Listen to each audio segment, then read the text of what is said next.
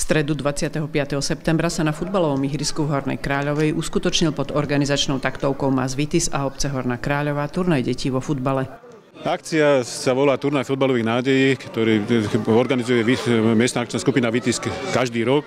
Je to orientované na, hovoríme tomu, že talenty futbalové, aby sme rozvíjali v nich ten talent a ide o deti najmä v tej kategórii U9 No a je to jedna z tých akcií, ktoré mm, Mas Vitis organizuje okrem folklóru, okrem regionálnej značky a podobne, takže teraz je to turnaj futbalový nádej. Som veľmi rád, že naša obec Horná Kráľová môže tento rok organizovať tento turnaj v združení obcí Mas Vitis.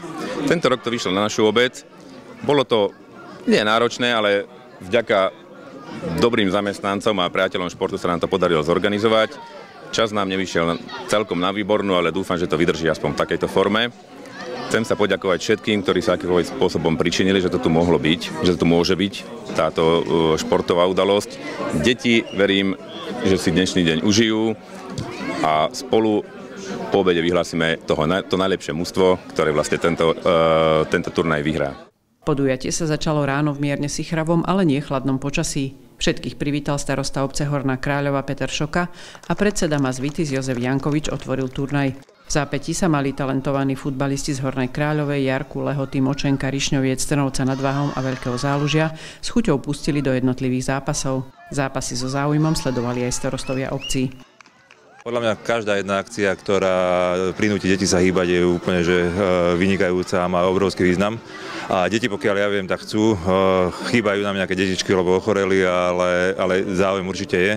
A som veľmi rád, že sa takéto akcie robia. Dokonca aj naša pani riaditeľka Nová na základnej škole podporuje deti v športe, takže, takže myslím si, že to je super. Chceme dať šancu všetkým mladým futbalistom, aby ukázali svoje umenie tomto roku sme sa stretli v Hornej Kráľovej. Ja pevne verím, že všetkým družstvom sa bude dariť a samozrejme ako správny lokál patriot verím, že najviac sa bude dariť našim chlapcom a obhája minuloročné víťazstvo.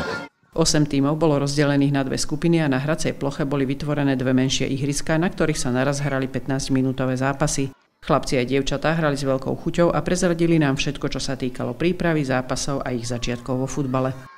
Len na tréningu trénujeme, sme pripravení na to. Dúfame, že vyhráme prvé miesto a pohár. Netrénovali sme vôbec a super, nebol ľahký, ale musíme ešte viacej zamakať do do ďalších zápasov. Nechystali sme sa voľako špeciálne a dobre sa hralo. Vyhrali sme 10-0 a uh, bol to taký uh, taký slabší súper. Pokúsime sa to vyhrať, toto bol dosť ťažký súper a Prehrali sme, ale nevadí, ideme ďalej. Prvý zápas nám nevyšol. Jeden nám chýba, je chorý, ho bolí hrdlo a asi Máme dobré mužstvo. Od 4 rokov hrám fotbal. Skoro každý deň trénujem a chodím na ihrisko. Musím sa aj učiť. Akože zápas bol vynikajúci, akože z našej strany nie, ale z Močenka bol veľmi vynikajúci. Hraj pekný, rýchly futbal. Teraz budeme mať zápas, neviem proti komu.